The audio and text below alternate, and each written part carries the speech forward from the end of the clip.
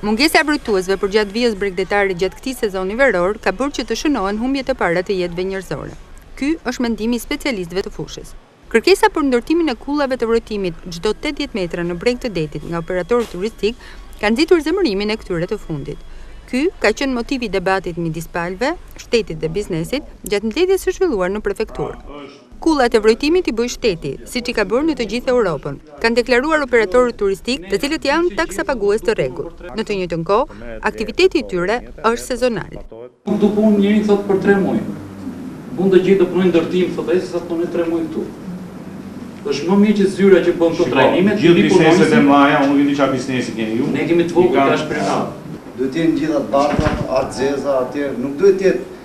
Një vetëm karrige, një të jetë e bardhë, një të jetë e zezë, një të jetë, duhet të jenë standarde. Po pra, ku janë kullat standarde? Kullat e vrojtimit duhet t'i bëjë shteti siç i bën gjithë Europa, gjithë bota, nuk duhet t'i bëjmë ne si privat.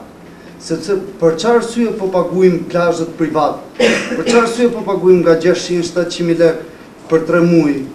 Për çfarë arsye po mirëmbajmë, për çfarë arsye po paguajmë taksat? Që të paguajmë ne kullat e vrojtimit, të paguajmë ne vrojtarët? Apo e kam gabim? Po kjo pra është e gjitha, sepse po, ku vrojtuesit po, po. duhet t'i ketë, duhet t'i ketë shteti. Kërkesat e vendosura dhe të miratuara nga Këshilli i Ministrave nuk u janë parashtruar më parë për konsultim grupeve të interesit. Prefekti i Qarkut Durrës, Roland Nasto, iu përgjigj operatorëve turistikë duke i thënë se këtë vit do të operohet sipas rregullores, ndërsa vitin tjetër do të shtrohen dhe diskutohen propozimet e biznesit. Ideja është e tillë që sivjet do vazhdojmë në këtë formë siç e ka ligji, ne do bëjmë ndryshimet me propozimet e juaja, pra për bashkinë që vrojtuesit t'i pregatisi bashkia, pagesën ta bëni ju, dhe kullat t'i pregatisi bashkia dhe pagesën prapë ajo. Edhe Bashkia e Durrësit shprehu rezerva në lidhje me vendimin e Këshillit të Ministrave. Lavdosh Beqirej, shefi i kabinetit pranë këtij institucioni, sqaroi se këto kërkesa nuk mund të realizohen nga operatorët turistikë.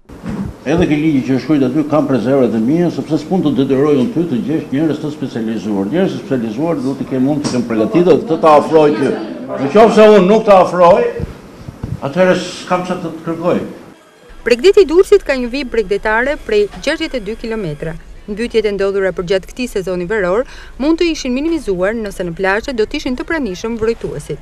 Qeveria qendrore ua ka pasuar topin operatorëve turistikë, ndërsa këta të fundit e kanë të pamundur ta realizojnë këtë kërkesë duke i lënë pushuesit në mëshirë të fatit.